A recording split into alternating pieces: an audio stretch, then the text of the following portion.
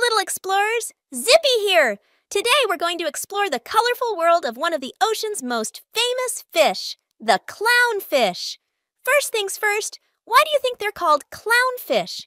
It's not because they can juggle or make balloon animals, but because of their bright, bold colors and patterns. One of the coolest things about clownfish is their special friendship with sea anemones. These tentacles might sting other fish, but not our clownfish friend. They have a slimy coat that protects them from the sting. In return for the safe home, clownfish help the anemone by bringing it food and cleaning its tentacles. Talk about teamwork! There are different kinds of clownfish, each with its own beautiful colors and patterns. It's like having a wardrobe of snazzy ocean outfits.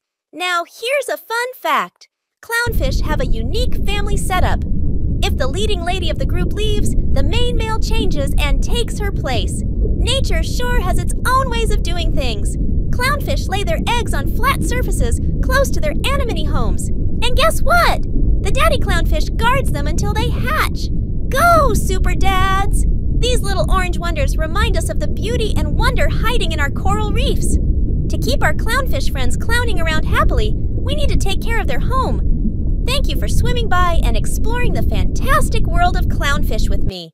There's always more to discover beneath the waves. Stay bubbly, little explorers, until our next underwater adventure.